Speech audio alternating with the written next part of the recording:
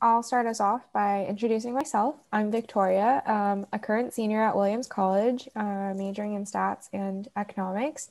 And we have Diane and Emily here, who I'll pass off to to introduce themselves as well. Hi, I'm Emily. I'm a freshman at Williams College. I'm hopefully maybe an art history major, maybe um, double major in econ, and I'll hand it off to Diane. And I'm Diane Hart, and I'm the Senior Museum Registrar for Collections and Exhibitions at WCMA. Yeah, awesome. Diane has a really cool role, so I can't wait to get started. Um, I think maybe just for a crowd, do you mind introducing your role as a registrar and then um, diving into that, like what your role looks like specifically at the Williams College Museum of Art or WCMA? Sure, happy to. Um, I'm the museum registrar and I've been there for 27 years. And in the department is myself and we have an associate registrar, Rachel. She's been there 20, or she's been there 30 years. Oh, wow. so we've both been there for quite a while.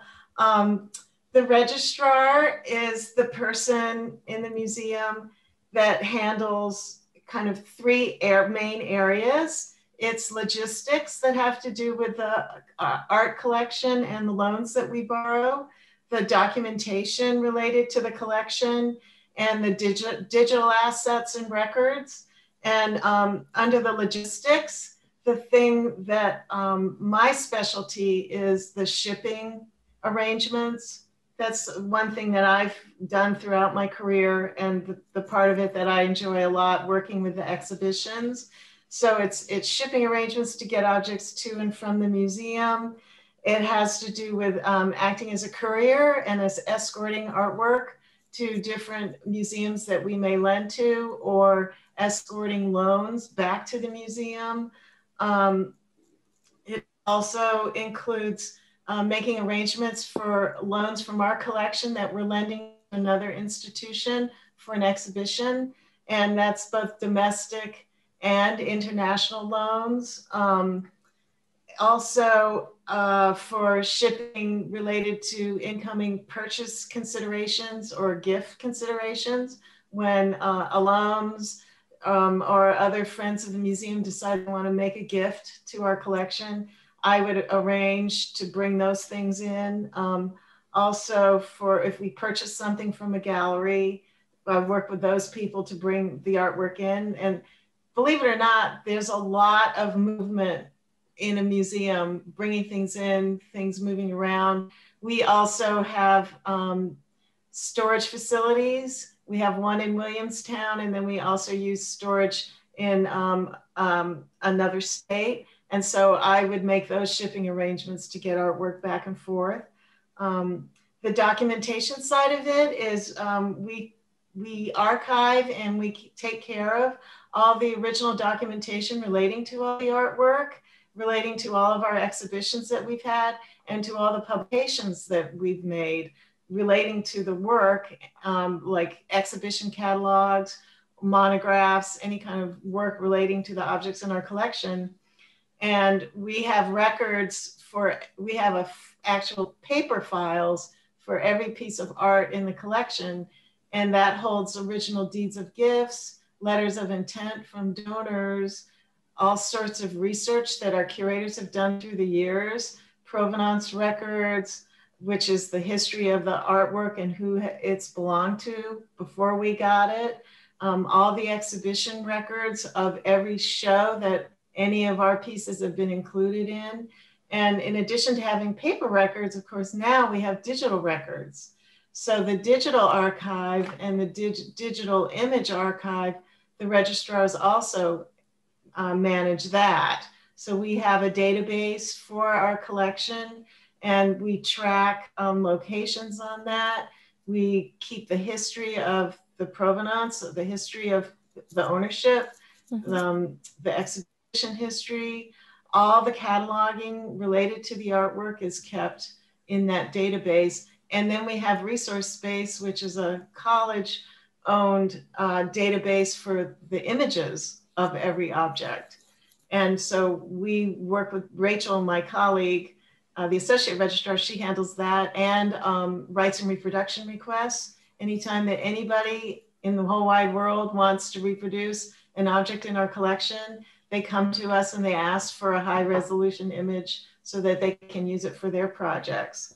Um, so when I think about the registrar in the Williams College Museum of Art, I think about how my department is included in practically every aspect of the museum's work. We are sort of the hub, and the spokes are all the other departments that we um, help and that we um, coordinate in different projects in order so that they can use either the actual object itself or the records pertaining to the object. This is a lot. We also, oh, I also manage the insurance on the collection too. yeah, that's incredible. That sounds really cool. And your role really sounds like so interesting. And you said that you've been the registrar for 27 years. So we were wondering, how did you first join WCMA? Well, it actually was a promotion for me. I started my career at the Virginia Museum in Richmond, Virginia, and I was an assistant registrar. And when I, I was there for five years, and I learned um, about the different functions in the museum and how to do condition checks, how to um, identify objects and like research things to figure out the type of materials they were made out of. I, I have an undergraduate degree in painting and a master's degree in art history, but at that time there was, were no museum studies courses. So you did internships and then you would get your entry level job and you'd learn on the job. So I was there as an assistant registrar and I did a lot of exhibition work. And then I um, moved to the Yale University Art Gallery and I was the associate registrar. So I kind of moved up in the administration side of it.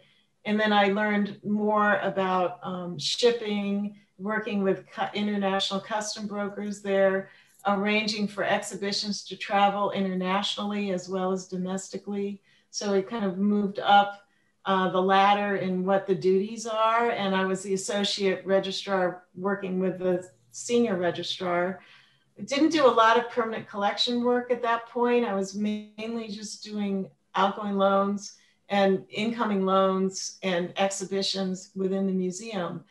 And I was there for five years and I knew I wanted to kind of be in charge of my own department and um, had come to the Berkshires to go to Tanglewood and the Williamstown Theater Festival and had been to the museum and the Clark and loved it up here so when the job became available, I applied and I was given the position as the registrar. So it was like I was running my own department and I had um, an assistant. And then I, I, we were doing a lot of exhibitions at that point. We would do almost 30 exhibitions a year. So I focused on the exhibition work and Rachel focused on the permanent collection, bringing things into the collection and the documentation side of it. And as the years have gone by, um, my role has changed and I'm doing a lot more permanent collection work. Still doing the exhibitions, but we don't do as many exhibitions and we don't, we do maybe two or three kind of major loan shows a year, but we do a lot more with the permanent collection. And when we work with the collection, um, it, it, takes a lot more time and a lot more people to be involved to care for the collection objects and um, just making sure that they're housed correctly. And we've we've had some renovation projects in the museum, and we lost some of our storage space, so we have an offsite storage facility, and we moved a lot of material there, and it all had to be rehoused. So I work closely with the art handlers to care for the artwork and make sure that it's it's safe and that we can handle it. And also the other part of the work that has changed over the years is the teaching with art for for you know all the students and um, you know Liz Gallerani who facilitates that on our staff works with me and Rachel and the art handlers to get the artwork out of the storage rooms and into the Rose Study Classroom. And so that has, has really, um, has been really fun to see that evolve and um, make more of our collection available to our students. Yeah. Yeah. No, I'm so incredibly thankful for that one because I know I've asked Liz to pull a lot of pieces before and it's always so magical to see them. Um, and I think that makes us also wonder just for you specifically, what makes WCMA um, a unique or memorable workspace? Because, you know, you've stayed such a long time. Like, I guess there must be something, you know, special about the place that has kept you there. Well, there is actually. I think it's the combination of of being in a living in a rural area and yet having all the great cultural aspects, in, including what we get at Williams College. We have a world-class museum. Our students are really smart. You guys do fantastic projects and you help us so much. And um, students work in my department with me and they work on special projects and do research for us. And it's always so much fun to, to be involved with our students. Um, and you wouldn't get that if you worked in a big mun- municipal museum. You might have an intern, but you don't have your the student interns. And working on a college campus is so much fun and there's just so many opportunities to learn from the faculty members and the, the way that, that we are kind of in the forefront for teaching with art and it, it's it really makes me feel like my job is important and my role in the museum is important because we can get our collection out for students and then you take what you learn and where, whatever you know you end up doing in your life what you've learned at williams you know you may think about what you did at, at, at WCMA and classes you had where you worked with the art or artwork that you borrowed for the walls through the walls program which is the program where we lend artwork to our students to live with in their dorm rooms so i mean that program in itself is just so gratifying and, and it's so much fun on the handout day when the students come and you pick your artwork for your dorm room. We just have a blast doing that, handing it over to you.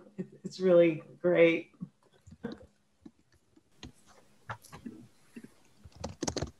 Yeah, that sounds really incredible. Um, WCMA just sounds like such an exciting place to work at.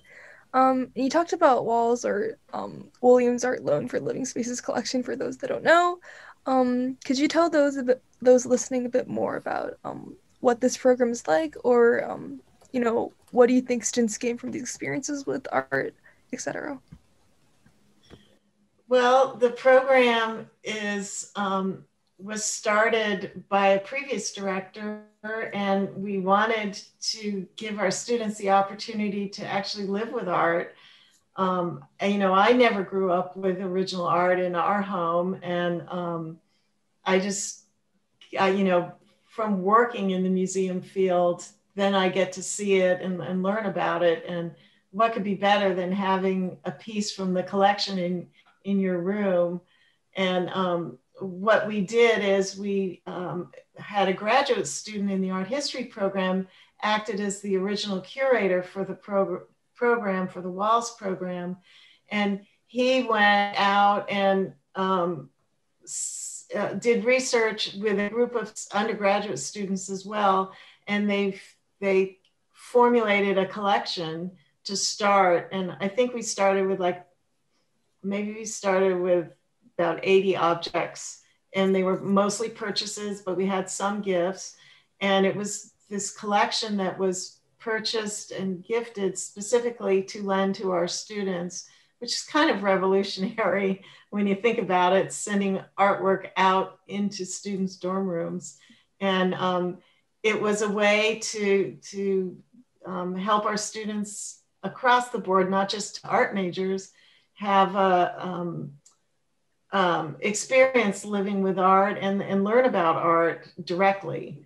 And, you know, we hope that eventually people, as they move on in their life, might um, become collectors themselves, and then they might even offer some pieces from their own collection to the the, the college and to, to the museum.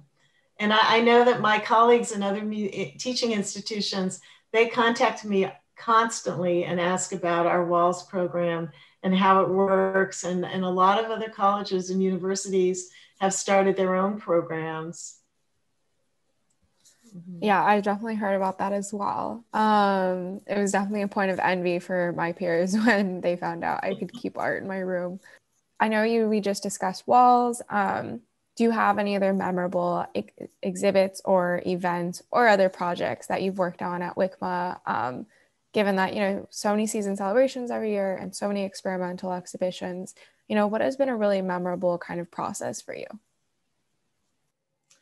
Um, it's kind of hard to think about what my favorites are because they're all so different and it's all been really fun to work on. But um, a memorable exhibition was an exhibition that we mounted in 2009 through 2010.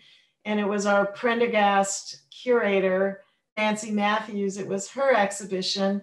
It was called Prendergast in Italy. And um, it was focusing on the American Impressionist uh, Maurice Prendergast and his work and the watercolors and the paintings that he did when he was over in Venice, Italy. Um, and he made, I think it was three specific trips over there. And we borrowed about um, a um, hundred works from institutions and private collectors and from our own permanent collection. And Nancy made this exhibition that documented every location in Venice that the artist had painted. And they made a map and they pinpointed all the 105 artwork on the map and the exhibition started at WCMA. It went to the Peggy Guggenheim Museum in Venice, and then it went to the Museum of Fine Arts in Houston. And I traveled as a courier with that exhibition. So I took it from Williamstown to Venice, and I rode on an open boat on the Venice, the Grand Canal, with the crates right at my feet, full of the Prendergast paintings. And we went on the Grand Canal to the wharf in front of the Peggy Guggenheim Museum and offloaded, and they carried them all up into the palazzo and into the exhibition space. And it, I had never been to Venice, and it, it was just a magical exhibition. And I worked on condition checking and making sure that everything got hung safely. And that was kind of one of the most exciting career trips I ever took. That was really fun.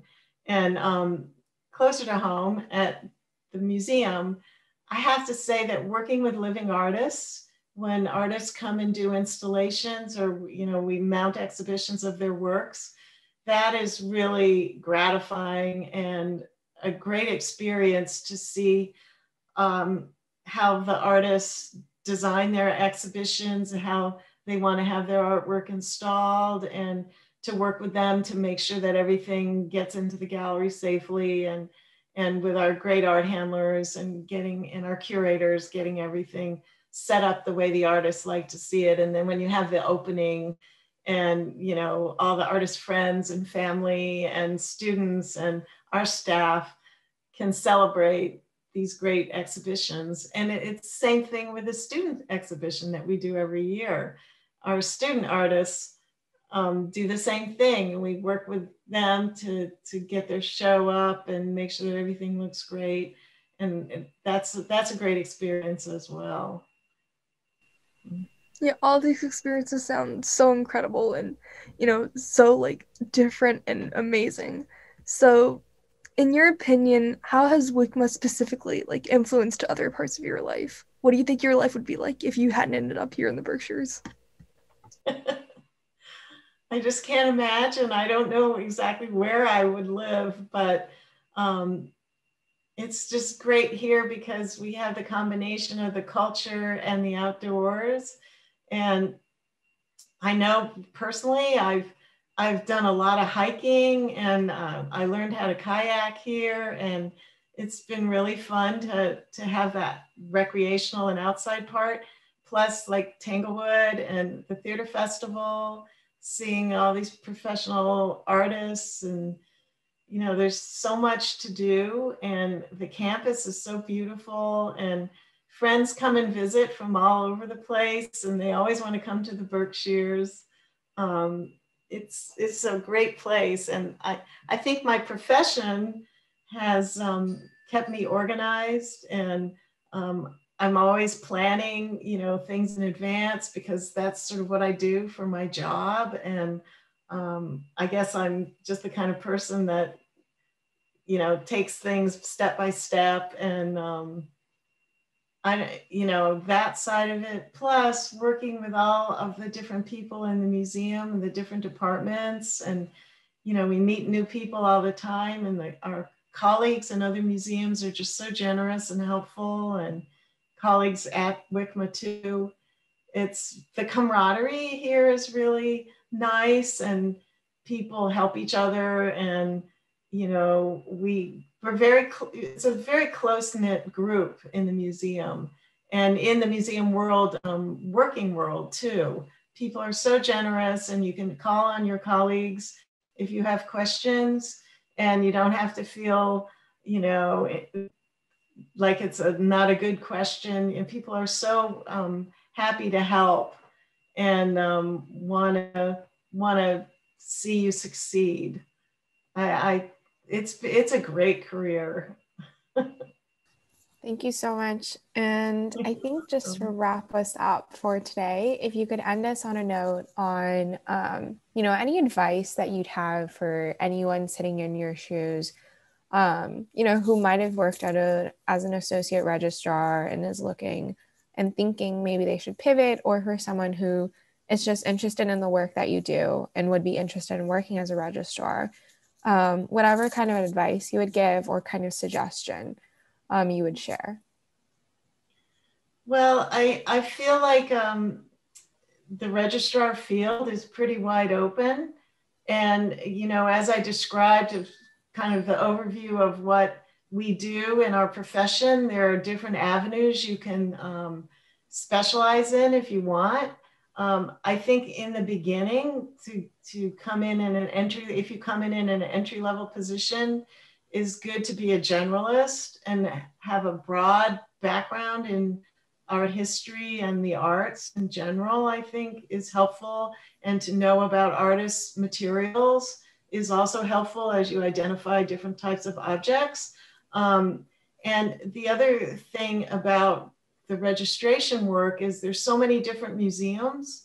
So if you're more interested in like history, you can work in a historical kind of museum or a historical home. If you're interested in fine arts, you know, some museums are just contemporary arts. Some museums are like our collection, which is kind of across uh, across the board and many different types of artwork. Or um, so there's a lot of variety. And then as you move up, you could specialize in different areas. Like if you're really interested in the imaging part of it, the digital imaging and digitization projects, rights and reproduction, you can go into that. Or if you're interested in taking care of objects, you can be a specialist in um, storage, uh, storage areas and um, you know rehousing of the artwork or conservation um, there's just a lot of different avenues that you can pursue and go into.